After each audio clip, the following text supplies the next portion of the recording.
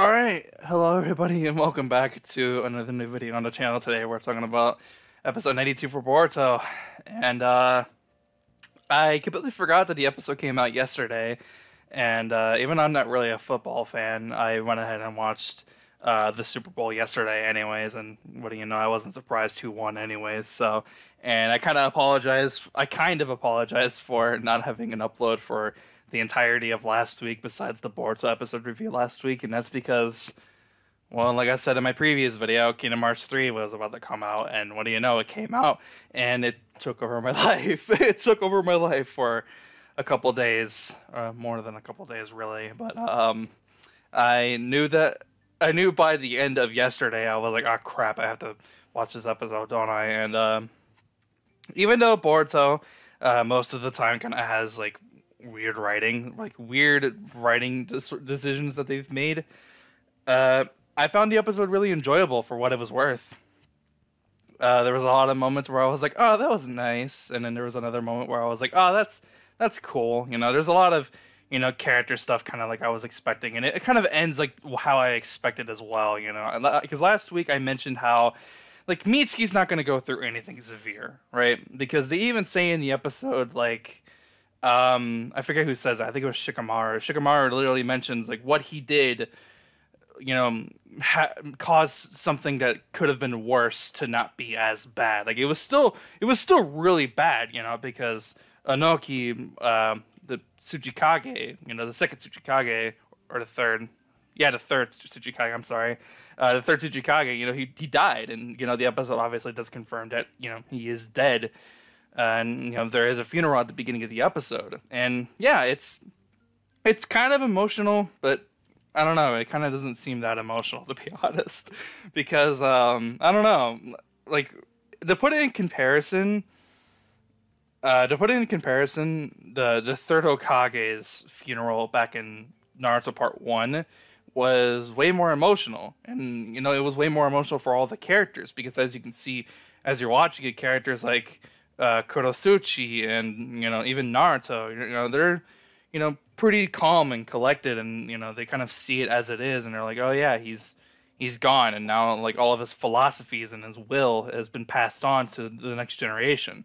Obviously, those of the village and you know the shinobi of the village are obviously very you know upset by this, and even Seki, like the guy who we didn't expect to really do much in the arc, to be honest, uh, is very emotional by it, but the Kage themselves are pretty, are just like are kind of tame, you know. And like you, you kind of see Bor, not Boruto, Naruto, and he's like kind of smirking and smiling at times. So it's like, oh, that's really weird.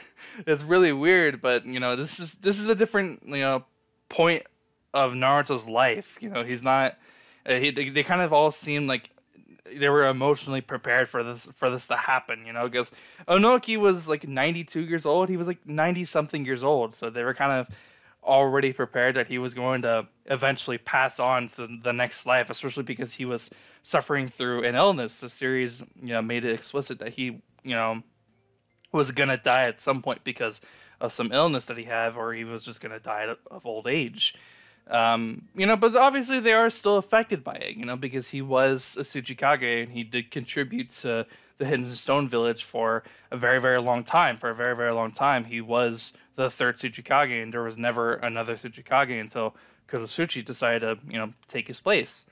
But of course, you know, Boruto and all the other all the other Genin have to go back to the Leaf Village, and they didn't get a chance to stay. And I was like, yeah, I guess it makes sense, but I don't know. Part of me kind of feels like maybe they should have stayed, but whatever. So they go back to the village, uh, or Boruto and the others goes back to, go back to the village, and they give us a scene where uh, when Boruto and Sarada returned back home, obviously their families were very worried about them, you know, just leaving the village like the way they did. You know, they were very worried about him. So you see Boruto walk into his home, and his little sister and her kawaiiness is just so much to take in. It's just it was very emotional, and then it was just as emotional with Sarada. You know, Sakura was she kind of mad at first, right? But obviously, you know, she's still a parent and she was still worried, and you know, she's just glad that her child Sarada is back home safe and sound, of course. And I don't know, I just I just really like these two scenes. You know, it just it was nice. Okay, it was, it was heartwarming. Don't don't call me no bitch. uh, what's wrong with me? So, um, the episode continues on, and like exactly like how we thought was gonna happen, Mitsuki is obviously being, I was gonna say interrogated, but he's more so just being questioned than anything. They they were asking him like, "Oh, so you went there because you were investigating to see what they were gonna do, right?" But and you know, Mitsuki answers like, "Yeah, that was obviously what he was planning to do as he left the village." But he also went there for his own selfish reasons, and Mitsuki actually mentions uh, mentions this to Boruto later on in the episode, of about when the episode's about to end. And you know that was to be expected. It was it was to be expected that he was going to mention that to Boruto because Boruto is obviously the one who wants to learn more about Mitsuki, you know, closely as a friend and an individual, you know, as a as a team member. But everyone else was just curious as to why he went there, you know, other than selfish reasons. And yeah, it was pretty much just to see what they were going to do and see if they were going to cause some kind of big catastrophe. And when do you know they were about to cause some catastrophe? And it could have been a lot worse. It could have been a lot worse than it was. And yeah, pretty much just as is what it is.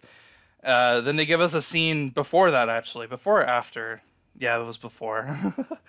and uh, Boruto and Sarada are, you know, stripped of their Genin uh, ranks, and so is Mitsuki. They're all stripped of their Genin ranks because obviously they all left on their own accords of the Leaf Village, and obviously everyone else wasn't, you know, penalized for that because it, I guess it wasn't that big of a deal for them.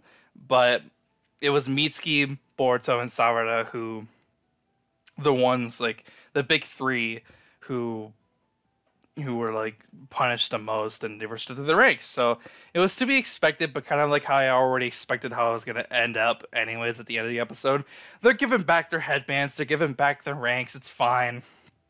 You know, it's whatever. So if anyone really thought that they were gonna go like a whole episode or whatever without their ranks being given back to them, it's whatever. Uh excuse me, and uh there's another point in the episode where Sarada and Boruto are talking to each other, right? And they kind of start talking about Mitsuki and whether or not he's gonna lead the village, whether or not they're actually gonna, you know, see him ever again, you know, because there are different sides of one's will, you know, so you don't really know what someone is really capable of. And that's very true of the real world, and it's the same very case of the world for Naruto. And Mitsuki's will is what caused him to leave the village in the first place. He he went there because of investigative purpose reasons as a shinobi, but he also left because of very selfish reasons. And the episode explains it uh, explains that you know Mitsuki is going through like a certain phase in his in his life and his leniency of puberty. Uh, yeah, because Orochimaru makes an appearance in the episode, and he's saying like it was a rebellious phase, and like, it was sort of like puberty, and it's his transition phase from phase two to phase three, as it was mentioned before in the series prior. And you know, this was a good part, and this is good development for Mitsuki because this is making him more human. This is making him going through the phases, you know, a lot better. And it's good to experience moments like this, moments of loss, moments of, you know, the stuff that Mitsuki had to do throughout the entire period of this arc.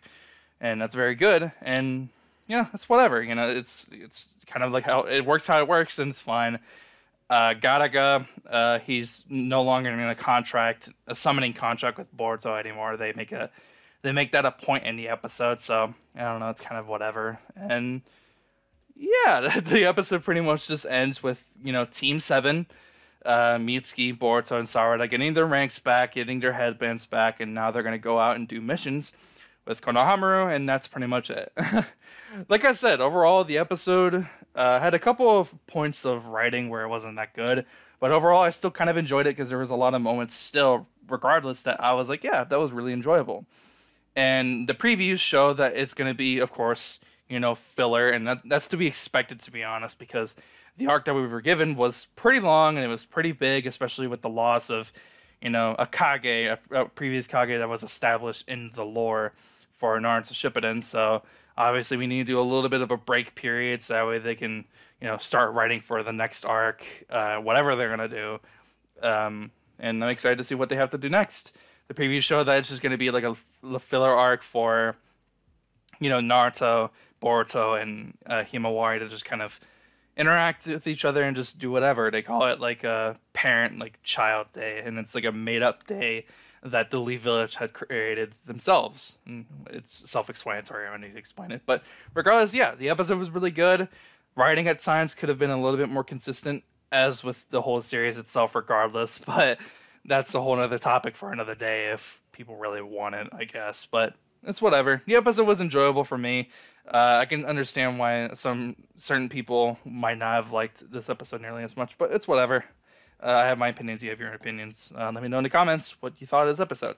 But anyways, that's the end of the episode, which means that's the end of the video. If you did enjoy, be sure to leave a like. If you are new, subscribe for more videos just like this.